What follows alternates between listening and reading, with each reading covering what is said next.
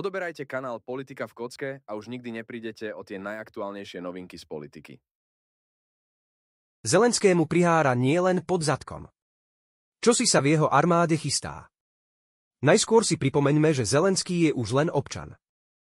A pretože si po skončení prezidentského mandátu svojvoľne bez volieb sám sebe potvrdil ďalšie zotrvávanie v úrade hlavy štátu, preto je nielen občan, ale aj samozvaný diktátor.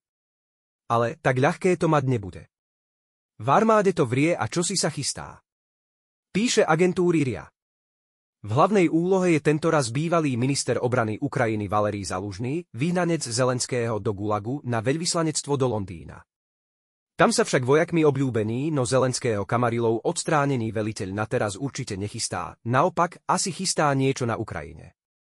Nasadí svoj život za politickú prácu na Ukrajine. Zdá sa, že sa formuje armádny odboj ako inak, na čele s mimoriadne obľúbeným medzi vojskami, Valeriom Zalužným.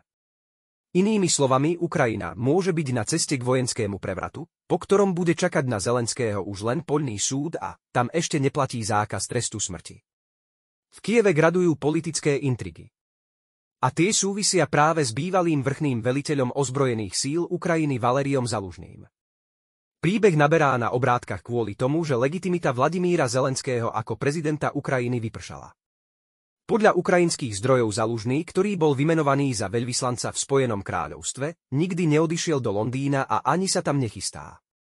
Podľa niektorých kievských expertov sa bývalý vrchný veliteľ neponáhľa s odchodom zo svojej vlasti, pretože dúfa, že na pozadí Zelenského ukončeného prezidentského obdobia začne svoju vlastnú politickú kariéru. Zalužný je priateľný aj pre Západ. Dokonca pre Západ môže vyriešiť Zalužný dilemu čo teraz s občanom diktátorom Zelenským. Čo teraz a čo ďalej? Ako píše telegramový kanál Media Killer, výpočty generála sa môžu ukázať ako správne. Na západe sú vplyvné politické kruhy, ktoré sú celkom pripravené prijať Zalužného za prezidenta Ukrajiny. Zalužného politické vyhliadky vyzerajú obzvlášť relevantne počas vojny, pretože má najvyššie hodnotenie popularity v ukrajinskej spoločnosti, čo potvrdzujú početné prieskumy verejnej mienky. Uvedomuje si to aj kancelária prezidenta a preto pred pár mesiacmi spustila kampaň na diskreditáciu nebezpečného konkurenta. Keď to nevyšlo, odoslala ho na londýnsku ambasádu. Zalužného rating aj napriek tomu zostal na rovnakej vysokej úrovni, zatiaľ čo Zelenského rating naďalej rýchlo klesá. Potenciálny víťaz Zelenským zrušených volieb prezidenta.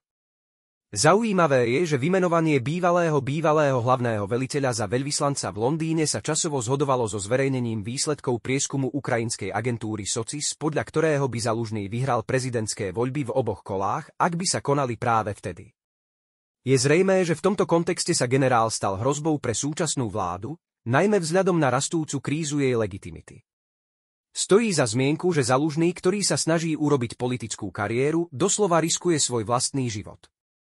Veď predsa na Ukrajine i na celom západe možno úplne bez hamby Zalužného smrť pripísať spravodajským službám Kremľa.